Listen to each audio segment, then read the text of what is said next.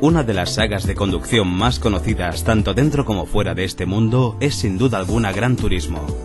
Ya hemos podido conocer los primeros datos acerca de la que será la versión prólogo de la quinta entrega que saldrá durante el próximo mes de octubre en Japón. Este prólogo, al igual que ocurrió en su día con Gran Turismo 4, nos muestra un pequeño adelanto de lo que será el juego completo, aunque en esta ocasión han mejorado notablemente las posibilidades respecto al homónimo de su cuarta entrega.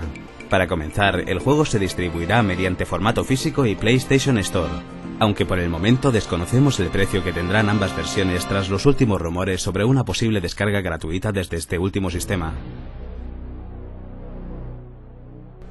Esta versión nos pone en bandeja cerca de 50 vehículos con los que podremos competir a lo largo y ancho de 5 circuitos junto a otros 15 corredores, tanto en partidas online como offline, pudiendo optar entre diversas opciones de personalización, como son las físicas, entre las que encontraremos dos modos, el estándar y el profesional, o las distintas ayudas en la conducción. En este avance del juego no solo tendrán lugar carreras, también podremos obtener contenidos visuales a través de la opción TV, que se encuentra en el menú, y de la que conoceremos algo más durante el próximo Tokyo Game Show, o la posibilidad de emplear el sistema Home. Este último se espera que esté implementado completamente para la versión final del título, pero ya conocemos algunas posibilidades como que nuestro coche ideal aparezca en nuestro apartamento, y cada vez que vayamos a competir nuestro avatar del sistema Home suba a él. Gráficamente, la nueva obra de Kazunori Yamaguchi roza el fotorrealismo,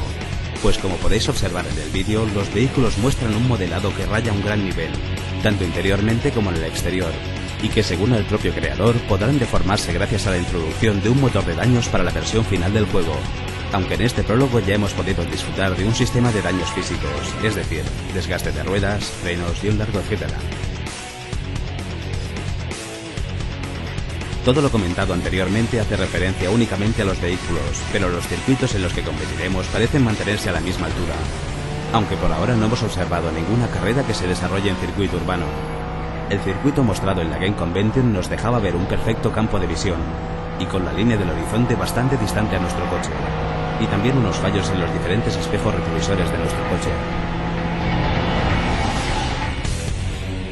En el aspecto sonoro parece que seguirá el buen estilo marcado en sus anteriores entregas. Durante las carreras nos acompañarán diversas composiciones con bastante ritmo y que encajarán entre los diferentes sonidos producidos por nuestros motores y nuestras frenadas. Finalmente comentar algunos aspectos que los mismos creadores han afirmado estar corrigiendo para la versión final del juego, como son los ya mencionados espejos o la inteligencia artificial de los competidores. Pero antes de que esto ocurra, los usuarios de PlayStation 3 podrán disfrutar de este adelanto.